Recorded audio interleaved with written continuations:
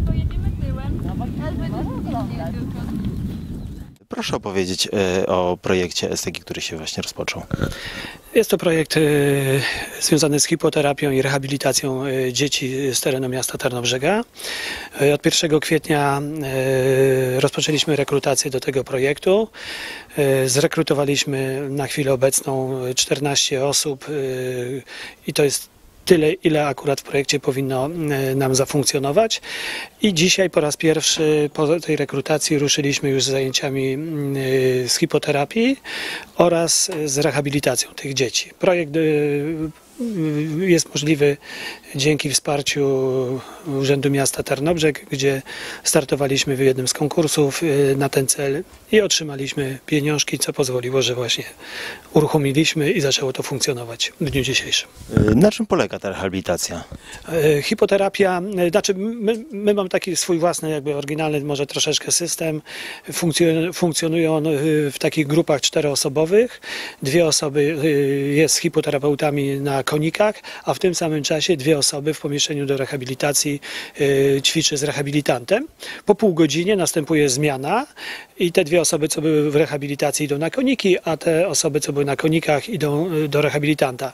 Chodzi o to, żeby mm, dzieci, które, mm, które idą na konia, czy też z tego konia schodzą, żeby poprzez rehabilitację, e, poprzez pracę z rehabilitantem były dobrze rozmasowane, rozgrzane, prawda, i żeby ten efekt działania hipoterapii po prostu był e, znacznie skuteczniejszy. W czym pomocna jest taka e, terapia? O, to bardzo, ba, bardzo to szeroki zakres działań w sumie, trudno tutaj wymieniać. Cały szereg różnych chorób, które są potwierdzone, że, że skuteczność potwierdzona w hipoterapii.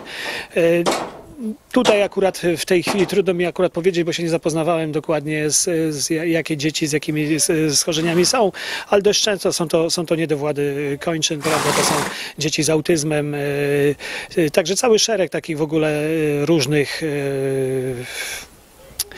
chorób dzieci, które, które, w których hipoterapia e, pomaga. E, Tak jak mówię, no, gdyby chcieć to wymieniać, to, jest, to, to, to długo by zeszło, natomiast e, nie jestem w stanie w tej chwili powiedzieć w tych 14 osobach, które są, jakie, jakie choroby przeważają, gdyż zespół, który oceniał i wybierał te osoby z większej grupy osób, ja w skład tego zespołu nie wchodziłem, więc dokładnie nie jestem w stanie tego powiedzieć. E, Jaki jest koszt dla rodziców e, uczestnictwa w tej terapii? K- Koszt dla rodziców jest zerowy, rodzice nic nie płacą. Myśmy hipoterapię rozpoczęli w zasadzie od zeszłego roku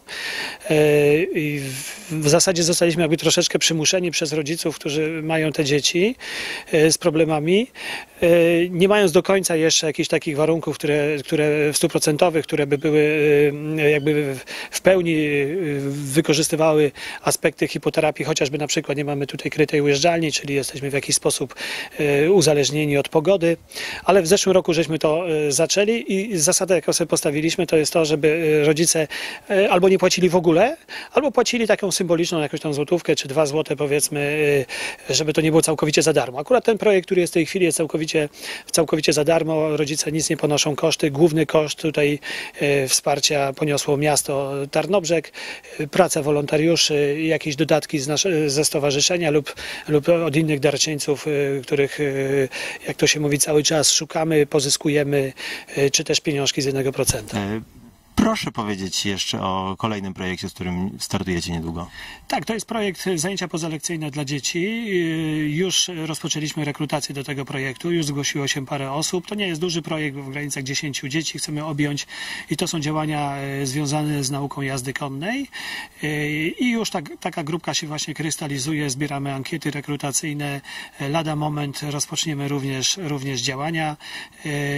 To jest takie po- powiązanie w zasadzie rekreacji, sportu, e, ruchu dla, dla, dla dzieci, a zarazem też liczymy, że zawsze z takiej, z takiej grupki, która, która u nas projekt rozpoczyna, że zawsze jakieś tam dwie, trzy osoby zostanie, żeby działać w naszym klubie kawaleryjskim, który tutaj przy naszym stowarzyszeniu STK funkcjonuje i wtedy taka grupka zawsze jak zostanie parę osób, z poprzednich projektów tak było właśnie, że zostało, to oni ćwiczą już jakby bardziej zaawansowanie, bardziej już e, tak e, no, profesjonalnie, bo tak bym to określił. A co z na wakacje planujecie? Na wakacje zapraszamy na obozy. Robimy obozy letnie w trzech miejscowościach. Najbliższy i, i zarazem pewnie najtańsze to będzie, to będzie Golejów tutaj koło Staszowa. Robimy obozy w Dąbkach e, nad morzem oraz w Ustroniu. Gdzie, e, to są obozy droższe troszeczkę, ale to są obozy artystyczne. E, Dwa turnusy obozów artystycznych, wyjątkowe warsztaty wokalne, wokalne oraz e, obóz, e, pierwszy raz taki profesjonalny obóz robimy e, dziennikarsko-filmowy filmowy, e, z ciekawą kadrą, e, bo, bo, bo będzie prowadził na przykład warsztaty dziennikarskie dziennikarz z TVN-u, e, filmowe też znany, znany filmowiec związany z Tarnobrzegiem Oleg Dyl, prawda, więc myślę, że to bardzo ciekawe warsztaty i serdecznie zapraszamy. Dobra, dzięki wielkie za rozmowę. Dziękuję.